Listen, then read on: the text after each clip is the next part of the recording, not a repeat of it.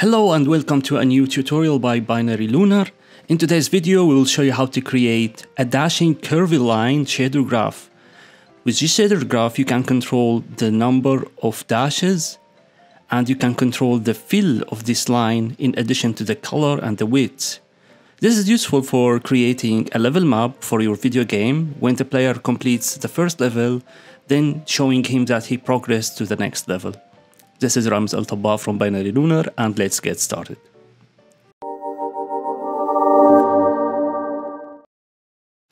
Let's start by creating new Unity 2020 project using the Universal Render Pipeline template and let's name it Dashing Line Shader Graph.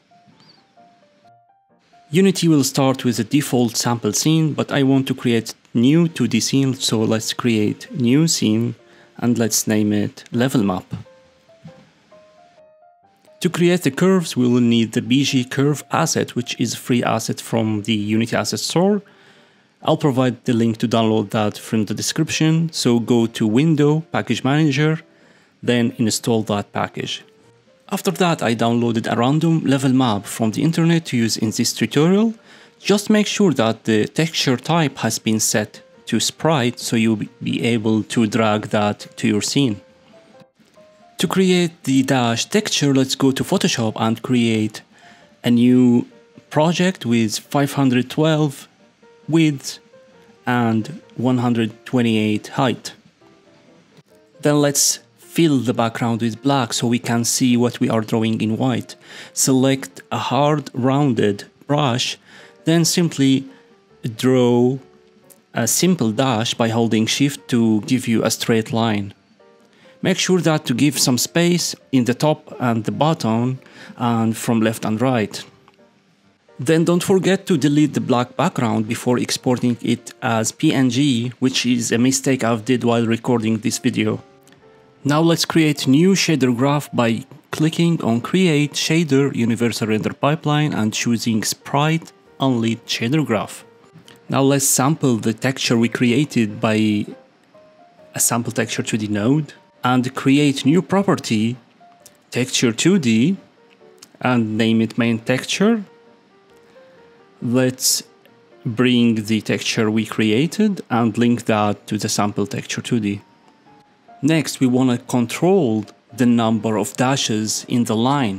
And the best way to do that by creating a tiling and offset node and determine how much we want to tile the dash, which will represent the number of dashes. So after creating tiling and offset node, let's make a vector 2 because we want to do only the tile on the x while keeping the y the same. Then create a new float, name it tiling, link that to the vector 2, then link the vector 2 to the tiling.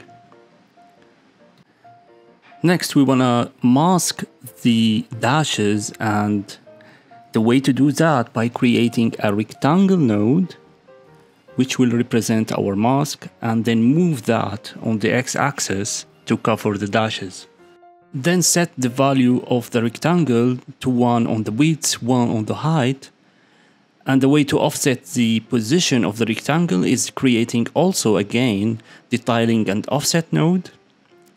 Then we need to create the filling value float and to avoid getting undesirable values, we can set the float to be a slider between minus 1 and 1.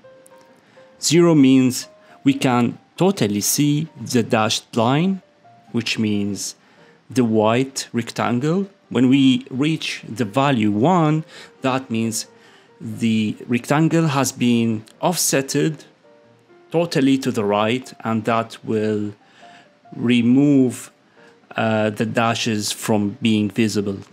So after creating the filling value, let's have a vector 2 because we want to do the filling on the x-axis only. Then link the filling value to x, set the y value to 1, then link the vector 2 to the offset.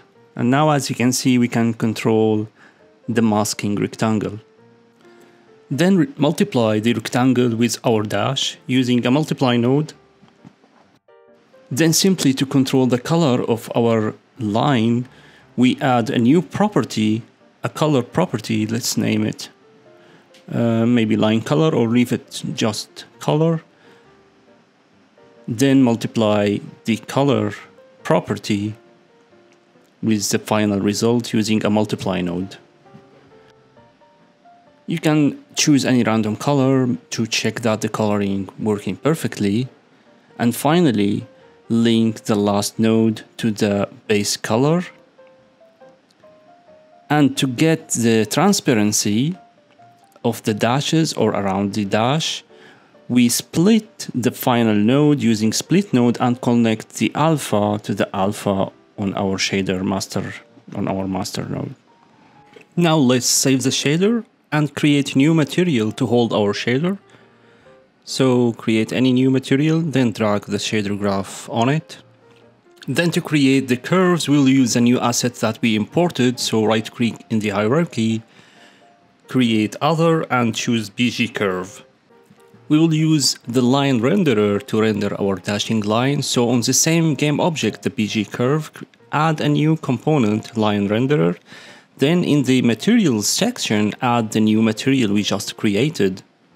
After that, to sync between the line renderer and the BG curve, go to the BG curve component, select the components tab, click add, slide down to reach the CC line renderer to make a synchronization between our line renderer and the BG curve.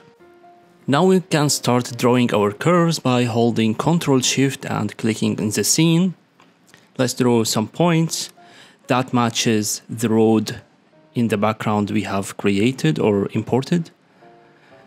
As you can see, if we want to create a corner, it's called absent. If we want to make it a curve, Bezier symmetrical. Once you made the point Bezier symmetrical, each point will have two handlers to control how curved is the line. So experiment with those till you get the desired curve. Set the filling value on the material to zero so you can see the dash or the line. Now it's one piece, I mean it's one dash. So to control how many dashes, as we said, we increase the tiling value to represent how many dashes you want to see on the line. But we have final issue which is we can't see the line in the game view. It's only visible in the scene view. To enable that, just enable the 2D mode from the BG curve. You can also control the thickness of the line by adjusting the width value on, on the line renderer. And finally, we can control the filling value to, to animate the dashing line to make it moving from one point to another. This value can be controlled by a code or by the animator. To save the time, let's control it by an animator. So let's add an animator here. Then from the animation tab, let's start recording. At the first frame, set the filling value to 1 and maybe on after 2 seconds or more, set the value to 0 click play and now you will see the dashing line moving toward the next point. Now if you click play, the animation will run endlessly. But if you want to run the animation once, we click on the animation that we created, then we uncheck the loop time, so the animation run once. And that's it for today's video, looking forward to see this dashing curved line in your video games. If you found this video useful, don't forget to hit like, subscribe and the notification bell so you keep updated by the new videos. We are really grateful to all the supporters on Patreon who keeps encouraging us to publish quality contents. And remember, by becoming a patron, you can download all the projects which has been shown on our channel.